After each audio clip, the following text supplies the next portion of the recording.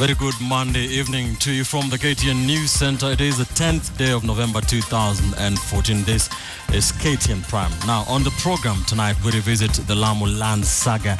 There have been investigations ongoing for the last three months, and now the National Land Commission is cracking the whip let's stay with cracking the whip. And Kenyans have been having a discussion on that expose that was done by John Allan Namu and Mohamed Ali on uh, Pastor Kanyari. And of course, now the government says it wants to regulate the registration and operation of churches. The National Council of Churches of Kenya says it wants to be part of that. We'll have details of that story. We thank you for joining us on KTN Prime. I'm Lindah Oguttu. And I'm Ben Kitili. These are the top stories tonight. 12 pieces of land sasa zinaonekana zilikuwa watu wamechukua tu bila kufuata sheria ile inawekwa. 12 title deeds are revoked as investigations continue in the Lamu land saga. Tumeweza kusikia manduru kule Rift Valley na wengi wetu hatukujua ni nini ilikuwa inaendelea. Deadly border row between Kakamega and Nandi. Also on KTN Prime, Mombasa police now link drug barons to terror groups. And Alcoblow is credited with the 11% reduction in road accidents.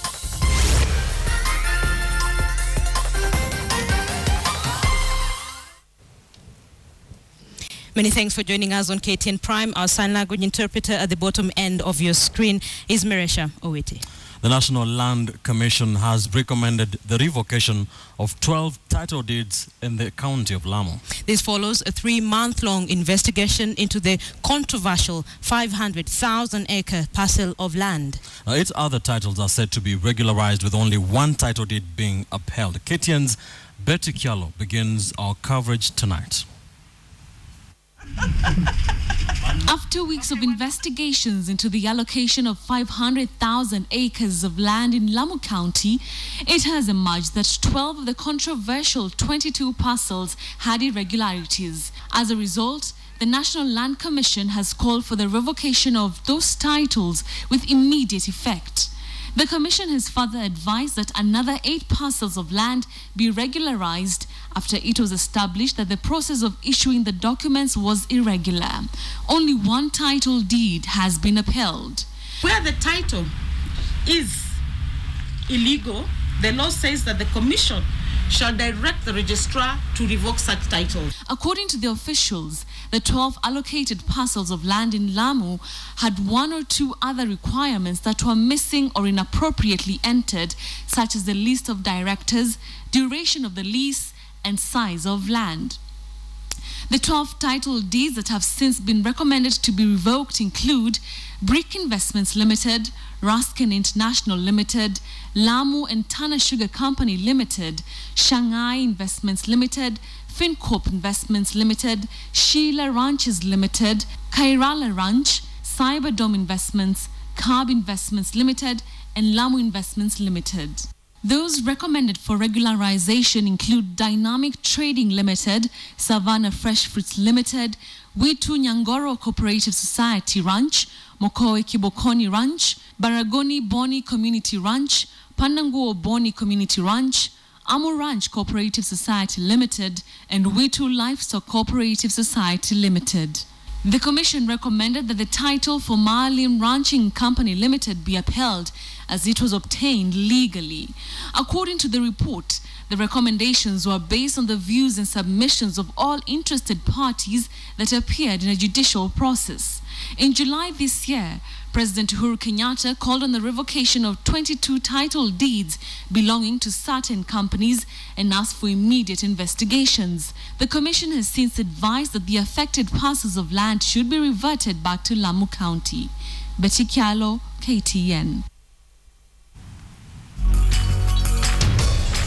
The Big Q in association. Important issues, and that story is the basis of a big question tonight. We are asking you Will the revocation of title deeds help resolve the land issues at the cost? Let us know what you think. You can tweet us at KTN Kenya at Ben underscore Kitili at Linda Gutu. We'd love to sample your views on that particular issue on KTN Prime. Will the revocation of the titles help to resolve land issues at the coast? Very emotive issue. Let us know. Let's now take you to the county of Kakamega police there are investigating the killing of one man that prompted clashes between the Nandi and Luhya communities. Now, several people were injured and four houses torched in the overnight attack. It's Ketian's Ashamwelu with the details. a land dispute, two neighbors, and the reignition of a three-decade tussle between two communities. When local resident Joel Kosgei was killed in a row over a boundary, all hell broke loose. Kusavali, the border between Kakamega and Nandi counties, was turned into a battle zone. By dawn, many had opted to pack up and flee. Tumeweza kusikia manduru kule Rift Valley na wengi wetu hatukujua ni nini ilikuwa inaendelea. Jirani wetu wa Luya wamepita mpaka mpaka wamepita Nandi Escarpment, ndio hiyo msoso yote inatoke, inatokesele, inatokesea. Mnandi mmoja ameweza kuwawa huko juu na Mluya ambaye hatuwezi tukamjua. As the murder suspects fled from the Nandi escarpment, whispers from curious villagers turned into fear of revenge attacks over the boundary dispute. Tulijua vile mtu amekufa, tulijua sasa wanataka sijui walia tuhame huko, sijui tu- hatu hatu kuelewa hapo shida iko wapi. Hii shamba vile imeua yeye, tunaomba serikali wang'ang'ane mambo ya mpaka na watuchoree na watusuluhishie hii shida, kwa vile hatujui kesho ni mimi ndio ndawawa ama mzee ndio atauawa ama mwingine. It wasn't long until armed security officers took charge of the village as governors from the two counties moved in to contain the tension. the people who are there, the number of them who are involved, are to be arrested and brought to Nandi so that justice be seen to be done. The Luhya escaped and uh, uh, ran to western side. The two communities clashed over land in 1992, leading to the deaths of tens of people and the displacement of hundreds others. With memories of such past clashes still vivid to some residents here, this time they'll choose to move elsewhere until calm returns to Kusavali. Asha Mwilu, KTN. Let's now take you to the coastal side of the country. Police in Mombasa are holding five suspected drug barons who include two sons of the late drug lord Ibrahim Akasha. Baktash Akasha, Ibrahim Akasha and two associates were arraigned in court this afternoon in connection with the seizure of 98 packets of heroin seized in Nairobi. KTN has learned that the United States of America has also requested for their extradition to face charges. And as Ferdinand Omondi now reports, top security officials are warning that they are now moving in for the barons. Baktash Akasha, Ibrahim Akasha, Vijay Anangiri, and Gulam Hussein were brought before Chief Magistrate Maxwell Gicheru. Police wanted them detained for a further 14 days pending investigations into a drug consignment intercepted in Nairobi. In a sworn affidavit, investigating officer Hamisi Massa revealed Kenya's anti-narcotics unit intercepted 98 packets of heroin in Nairobi last week on Friday the 7th in a joint operation with the Drug Enforcement Agency of the U.S. The affidavit stated that the suspects are liable to charges of conspiracy to traffic narcotic drugs into the United States of America. The consignment is believed to have been headed for the U.S. market. The quartet is believed to be part of a transnational organized crime syndicate operating between Kenya and the U.S. The U.S. government has now requested for the extradition of the four suspects to face charges of trafficking narcotic drugs. Baktash Akasha and Ibrahim Akasha are sons of the notorious drug lord Ibrahim Akasha, while the other two suspects, according to police, are of Indian nationality. we are dealing with now the drug barons. You will see, maybe in the next, uh, before a week ends, you will see the big names rolling. Baktash is pictured here with his late father, who was shot dead on the streets of Amsterdam in the year 2000 in what police described as a drug deal gone sour. They were arrested on Monday in Akasha's Nyali home. The arrest of the Akashas has sparked some bold chest thumping from the state, which now says it is going after the proverbial big fish in the drug world. But in a country where some of the most prolific politicians and businessmen are linked to the drug trade, it will be interesting to see exactly how big the police can go. Ferdinand KTN, Mombasa. The National Council of Churches of Kenya says it is not opposed to a move by the government to further regulate the registration and management of churches. The NCCK, however, says it wants to have a say in the kind of regulations the government seeks to enforce. This follows an investigative piece by KTN on Jicho Pevu and the Inside Story, exposing the activities of Pastor Victor Kanyari. Ukaniambia nikuje Tuesday ama niseme From coach testimonies to fake healing, the schemes of Pastor Victor Kanyari, which were exposed by KTN, generated overwhelming rage from Kenyans. And the government is seeking to ensure that churches do not steal in the name of God anymore. wale wanatuma three tens hizi majina yao itabadilika. Attorney General Githu Muigai wants to review and amend the Societies Act, which governs the registration and management of churches, mosques, and temples. NCCK doesn't have a fundamental problem with that. But the National Council of Churches of Kenya, which has 44 member churches, wants to have a say in the proposed changes. The religious leaders put in their input in that process so that what is agreed is applicable widely. The NCCK also wants the government to cast its net wider in the regulation of religious institutions. Including mosques where radicalization happens Aside from the regulation moved by the Attorney General, the Director of Public Prosecutions, Keriako Tobiko, has asked the Director of Criminal Investigations to probe Kanyari over, among others, obtaining by false pretense, cheating, and conspiracy to defraud. and where a religious leader is seen to operate outside the law, they should be held to account. Wewe usiende ukiwa hujatoa sadaka, simama hivyo unasimama. Pastor Victor Kanyari of the Salvation Healing Ministries, who coached people to offer false testimonies, faked healing, and miracles, was exposed in Makria Injili by Muhammad Ali on Jicho Pevu and Prayer Predators by John Allan Namu on the Inside Story. Rita Tinina, KTN. And we're keeping an eye on that story for you. We'll let you know how that unfolds. Now, the National Transport and Safety Authority reports that the rate of fatalities on Kenyan roads has reduced by 11.7%. Uh, and as Mohamed Mahmoud now reports, this is attributed to the implementation of Alcoblow on the roads. Just to quickly run through some of The National Transport and Safety Authority has attributed the reduction of road carnage to the implementation of different legislations, including the recent night ban travel, speed cameras on highways, and use of alcohol. driving at the recommended speeds. If the speed is 100, if the speed is 50, if the speed is 110, if you drive at the right speed with your safety belt. Even in instances, the unfortunate uh, occurs that is an accident, your chances of survival are much higher. The number of fatalities exceeds 3,000 every year. One of the survivors of the road accidents, Bright Oyuaya, has been on a wheelchair for more than 18 years. ni kwamba zaidi ya watu elfu tatu wanafariki kila mwaka na kila siku kama watu wanane kama leo hivi watu wanane kesho pia watu wanane na wale wanaumia na wengine permanently ni zaidi ya elfu kumi kila mwaka With goodbye messages written on this piece of cloth, Bright always remembers those who perished in road accidents. there's a high probability that anyone can be involved in a road crash because you wake up in the morning like I did and I was okay. But by evening, I was in a different category. Uh, The, the statistics that are, that are said that tens of thousands of people are permanently injured. So far, reports of a reduction in road carnage is good news to her. She now calls for legislation to facilitate easy access to services for the physically challenged.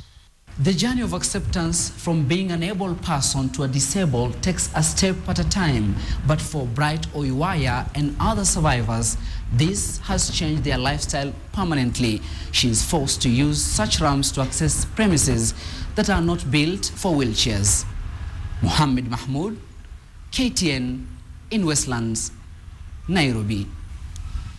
Thank you, Mahmoud. Good news there. And now for some bad news. Kenyans have joined the rest of the world in mourning the death of American televangelist and motivational speaker Dr. Myles Munroe. Munroe was in Kenya for a series of talks about three weeks ago, died alongside his wife and seven other people after his plane crashed while on his way to the Global Leadership Forum that was planned for the, no- for the 10th to 13th of November. Wilson Mburu has the details. It was news that shocked the world as details of a small plane crashing in the Bahamas began to emerge. The Bahamian Aviation Ministry first confirmed that there were some fatalities among the nine people on board the aircraft before police confirmed that motivational speaker Myles Munroe and his wife Ruth were among the nine people who had been killed in the crash. The ministry reported that the plane crashed while making an approach for landing at the Grand Bahama International Airport.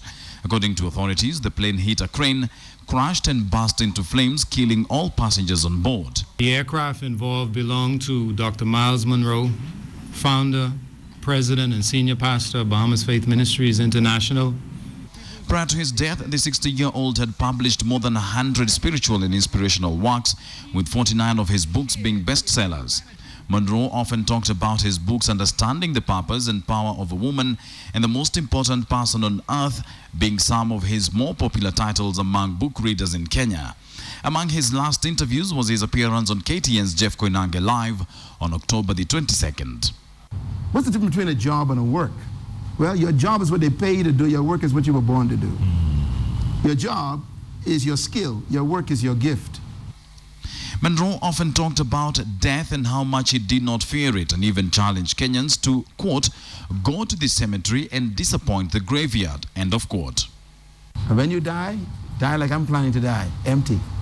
It is finished. Kenyans took to social media to pay tribute to Dr. Munroe with the hashtag in memory of Munroe trending on Twitter.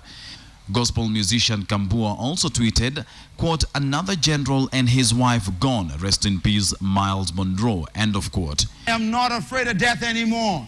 I will see you again. Wilson Mburu, KTN Prime. Big loss, I might, I must say, for the entire world. Now it's Monday. You know we have case files, and what would lead a man to eat the flesh and drink the blood of a fellow human being?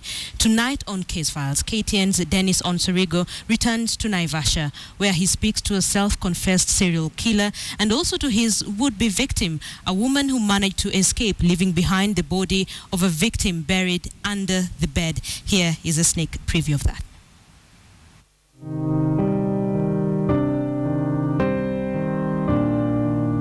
Akakuja akanitoa, alikuwa amenifunga mikono na miguu.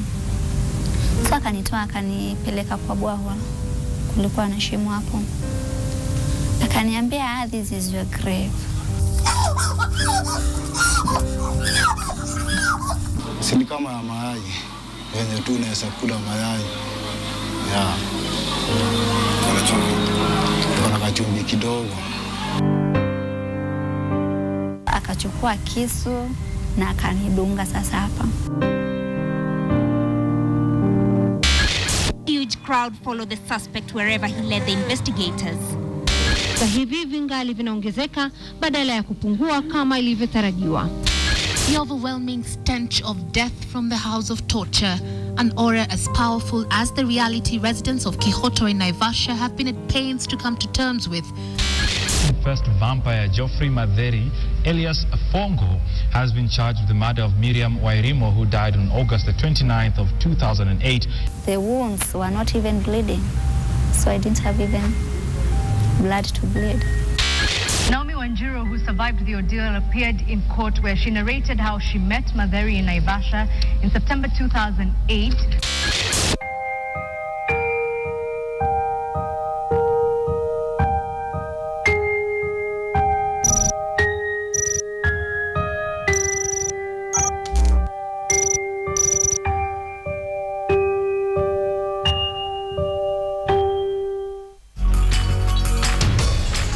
The Big Q in association. Case files coming right after this bulletin. Let's look at a big question.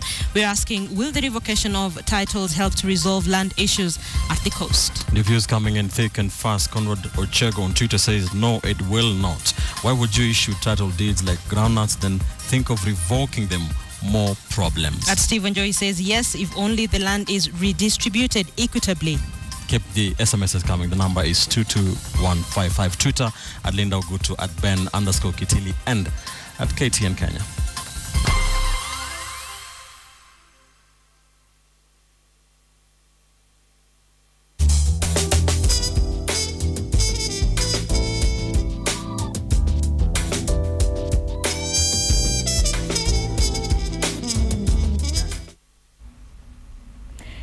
Welcome to Job Center this evening. And today we are all about the business of animation.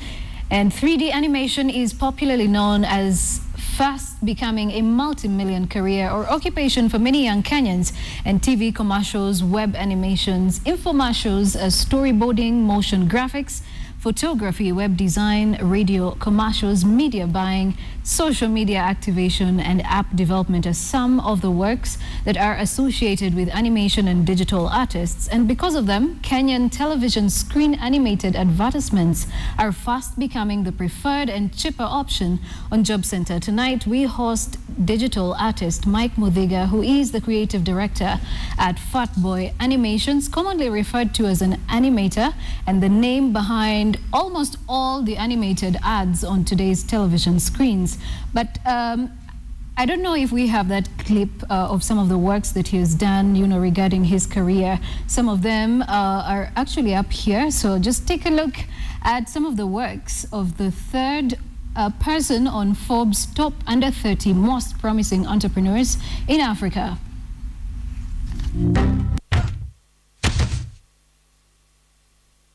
Kazi gani bure kabisa hii Mike Mudhiga has taken the business of animation to another level.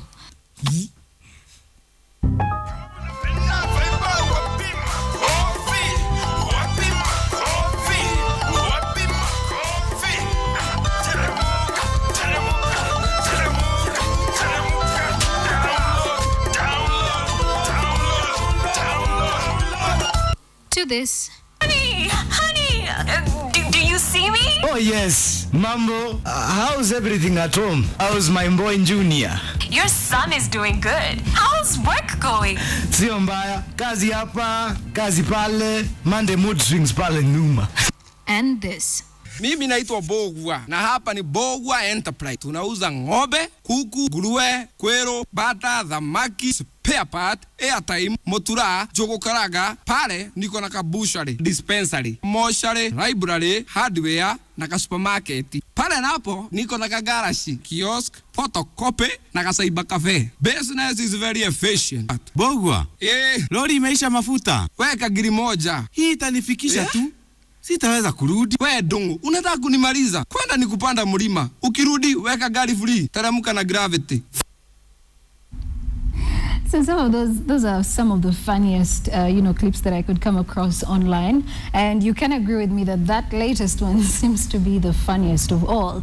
But anyway, away from that, you were named the third uh, on Forbes top under uh, top 30 under 30 most promising entrepreneurs. How does that make you feel? And also the fact that you are just young. Did you learn this in college or university, uh, or you were just home home taught? Um, well, uh, on the Forbes uh, case, um, I, I was actually actually surprised to to find myself listed as one of the most promising. Mhm. I, I didn't know that uh, well that was going to happen, so I was very uh, surprised and also very encouraged. I felt more motivated to keep doing what I'm doing. So it made me feel like I'm actually uh, going on the right. I'm on the right track. I'm doing the right thing. Um, animation is something I loved and uh, I enjoyed doing as a hobby and uh, um, just for fun. A- a- anytime, uh, even when I was stressed, I'd just get down to animation and or learn something new in animation. And this was how old were you then? I was I was very young. Um, uh, I'd, I'd say since I was a kid, probably in class one or two, because a lot goes into animation, even just drawing. So drawing still was uh, preparing me for where I am today, Mhm. and I'd, uh, I'd really what I do is get into something artistic, a, a lot of art things, and uh, with time, uh, I developed this into a career, and uh, because it's something that I enjoy doing, uh, I think that's why my business is also successful. Right. Okay. Um, you are slowly, of course, making some people lose business in this industry of entertainment and TV. Uh, I'll give an example of models. Uh, you know, the TV, editorial print, and television models or video motion models. And uh, you know, your business, that is uh, the business of animation, is growing very fast. Um, do you have a specific way in which you market this business? Um, right now, at the stage it's in, it markets itself. Mhm. Um, I, I, I strive to make the best of uh, any project that I'm working on because at the end of the day, as long as it goes on screen, it, it's marketing me. So And it's self-marketing. It, it's self-marketed. Right. And what is the target lately or today for the animated, for your animated work? Who exactly do you target? Well, um, I'm, I'm targeting all corporates, Mhm. uh, and, and uh, uh, none in part. There's no specific one, but all of them in general. Um, of course, avoiding a conflict of interest Mhm. in some cases, Mhm. um, and even uh, moving away from just corporates, uh, government institutions, and uh, uh, NGOs as well. Mhm. All right. And what is your biggest competition at the moment? Do you have competitors in this market? Because Uh, it seems unique. biggest competition um, I'd say the competition would come uh, when it comes to to uh, costs. Um, others would uh, um, probably charge much less than I do, Mhm. but uh, quality-wise and uh, the kind of content we produce, uh, I don't think there's yet competition I've seen. Mhm. All right, there's no competition, so you are just enjoying it, enjoying Monopoly. So um, I would also like to find out from you how rewarding is the business of animation? Um, financially, it's rewarding. Um, uh, peace of mind as well because I wake up every day and uh, excited to go to work and, and do something that I enjoy. Um, it's also opened uh, very many doors for me also to meet uh, other people and uh, also networking a lot and uh, gotten a lot of people interested in what I do. Mhm. So that becomes very fulfilling. Right. Are there any challenges whatsoever in this business? Um, yes, uh, there's a couple of challenges. Uh, at times, it's uh, deadlines become a very Mhm. huge challenge because uh, animation is a very uh, uh, it takes a lot of work to do and a lot of time to to do so. At times, we are pressured into actually squeezing it into very little time, and uh, we have to find a way around it. Right. Maybe probably sleepless nights or no weekends. Or What is the toughest part about it? Is it the rendering of the material that you've come up with? Uh, what exactly is it? Um, at, at times, it's uh, rendering can uh, at, at times uh, uh, create some, one of the biggest problems in the process Mhm. because uh, uh, sometimes if there's just one small error in the in the scene, the the render farm won't it it won't render the, the animation. mhm. So finding the problem in, in, in what you've created becomes a, a task and is what beats down on the deadline. All right. Yeah. Are there uh, any pieces of advice that you'd like to pass on to the younger Kenyans who are getting into what you're doing? And of course, uh, those of them who are aspiring to become digital artists, what would you like to tell them? Um, right now, the market is uh, it's big, uh, and even just for the few uh, people that are doing it right now, Mhm. um, it's big. and It's going to get much bigger, and and when there's demand for content and animated uh, content, the the the workforce will be required. A lot of it. So it's for those that uh, have a passion for this and are geared towards this, they should continue and put more effort into it. Be self-driven and uh, not necessarily have someone there to watch them or make them work or do something. Mhm. Yeah. All right. And uh, thank you so much for joining us in this edition of Job Center. Wish you all the best and, of course, enjoy the monopoly while it lasts. And that is Job Center for tonight. We were speaking about the business of animation where it is a unique uh, business in, or a unique market uh, that people are looking at. And of course, it's taking over quite a huge number of Kenyans because it lasts uh, on the mind. But well, thank you so much for watching this edition of Job Center. My name is Joy Doreen Biira. Up next is KTN Business.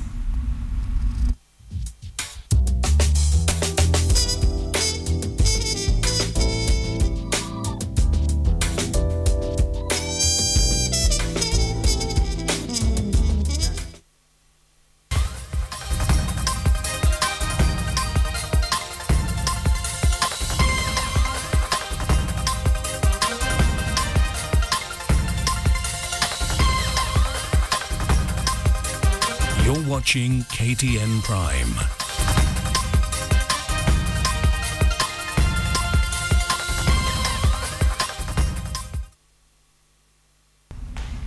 Good evening and welcome to Business. Regional integration continues to be the way to go for most countries in Africa. Kenya seems to be leading the pack in East Africa and tonight our latest entrant, KTN's Abi Agina, spoke to Cabinet Secretary Tourism, Commerce and East African Affairs, Phyllis Kandie, together with East Africa Business Council member Kelly Kiluto to get um, their latest perspective of the gains being made and areas that are still lagging behind in regional integration. What are some of the highlights that you can speak of that you have realized since you came into office? A lot has happened um, over the ov- ov- ov- over over the year. Um, across the board, um, you are talking about you know um, implementation of um, you know policies, the ESC um, uh, visa, um, and three countries have implemented that protocol.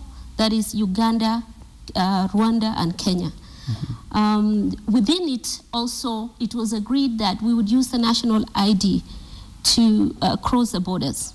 So that has really helped in the movement of, of, of, of people across, across the border. The other one that we have done also is um, we have ensured that um, the one stop shop, uh, the one stop border post, um, two are already working. Uh, one is uh, Taveta Lunga Lunga um, border post, which is working, and then the other one is um, at the border of uh, Rwanda and Uganda. Speaking from a business community perspective, has there been an impact along these lines where we're seeing um, more traders crossing borders using national IDs uh, instead of the passport? Yes, uh, exactly. There are quite a lot of people moving uh, across, particularly where the three partner states have agreed that uh, people can move with their own national identities. Therefore, you are seeing an increase in uh, movement of people and also of uh, goods. Uh, but more important, uh, perhaps you reduce the cost of uh, uh, the telephone. Right? Your roaming costs are removed. Then you can imagine what that means in the cost of doing business. At the same time, air travel, because yes, roaming costs go down, but if the cost of air travel from one partner state to the other doubles, uh, for example, if uh, all over it's about an hour, Whatever you travel in East Africa is one hour. Now, the costs of air travel is as, as though you are flying five hours to Dubai. What should you expect moving forward? Tangible solutions for traders, for businessmen across the region? What I would like to um, tell the business community and also Wananchi in general is that you there, there are opportunities within East Africa. Don't confine yourself to just trade within Kenya. Well, that's all we had for you today. Do join us next week, same time. Thanks, Abby. And milk processor Brookside has inked a deal with Commercial Bank of Africa and Car and General uh, As it steps up its milk uh, collection operation around the country. The deal will see potential milk collectors get a full 30,000 shillings loan from CBA to buy specially fabricated tuk-tuk trucks to collect milk. Brookside is targeting dairy production groups with the facility with the hope of cutting down losses as the trucks have an ability to access narrow feeder roads and at a fuel consumption rate of 1 litre for 36 kilometers. Last year, Brookside paid 270 million shillings to farmers in Nyeri County for raw milk deliveries, reflecting 10% growth over the previous year. It should be about 500 kilos. And the beauty about this tuk-tuk is that it's able to carry even small amounts of milk, unlike now the other vehicles that we normally hire. And it's also very economical in terms of fuel consumption.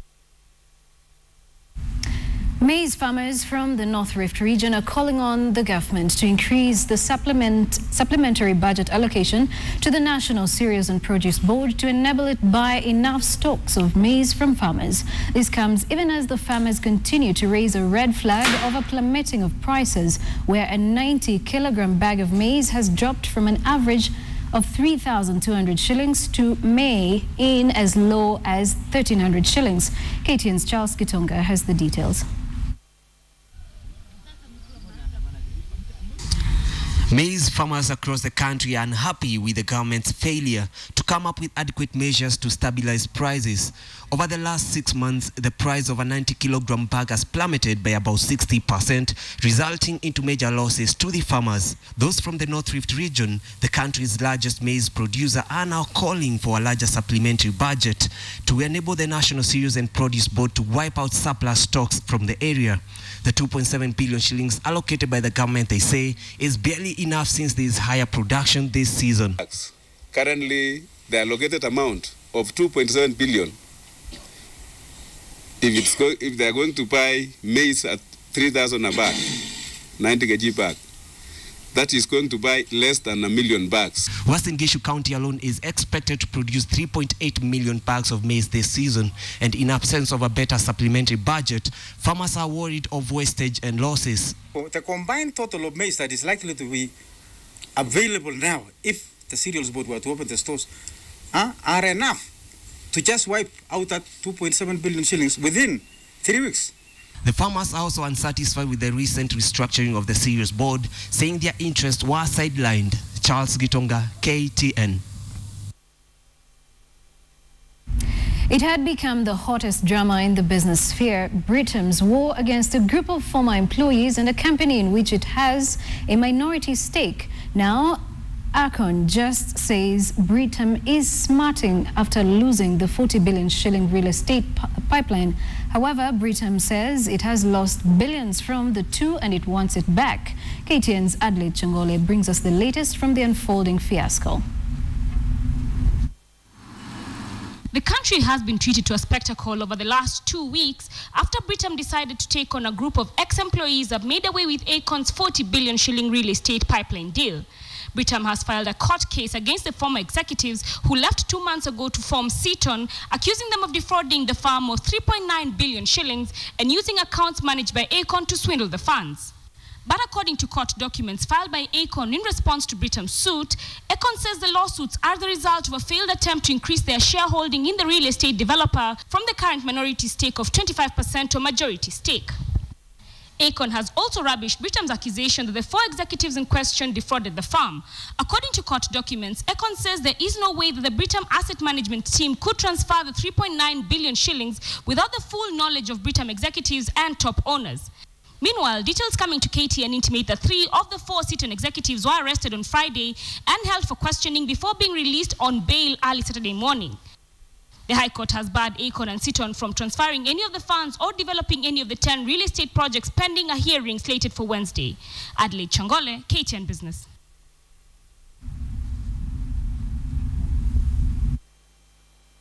Financial Report brought to you by KCB Home Loans.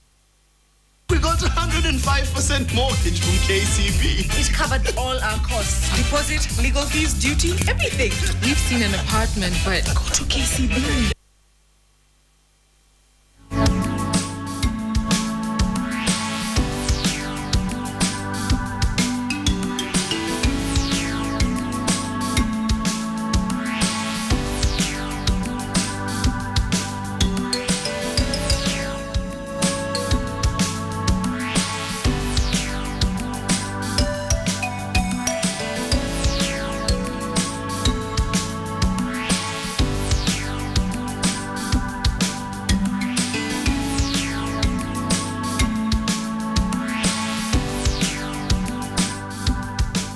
And that's all that we had for you tonight in KTN Business. Lynn Washira is up next with KTN Sports. Thank you for staying with us here on KTN Prime. Very quickly on the big question. Now, the National Land Commission has recommended the revocation of 12 title deeds in the county of Lamu. We had asked you on the big question, will the revocation of title deeds help to resolve land issues at the cost. What is the poll result, Linda? 75% of you say no, 25% of you say yes. The poll results there on your screen on our big question tonight. Dr. Will- Makori says no titles are revoked during the day and reallocated at night. Else, let them name the revoked titles. Atim Odianga says the engagement of inhabitants in in the problem is a cornerstone of peace and hence mutual imperative. Makueni Senator Mutula Kilonzo Jr. says no, there must be thorough investigations, due process, and findings made public. And Liat Conrad Ochego says um, objectively engaging residents of the coast to deal with the land problems will yield lasting solutions. Thank you for your views. On behalf of Marisha Owiti at the bottom end of your screen, thank you for watching KTN Prime. Have a good night. I'm Lindah Oguttu. We'll see you tomorrow. Many thanks for joining us on the program tonight. I'm Ben Kitili. Have a wonderful night. Remember, Case Files with Dennis Onsarigo begins shortly.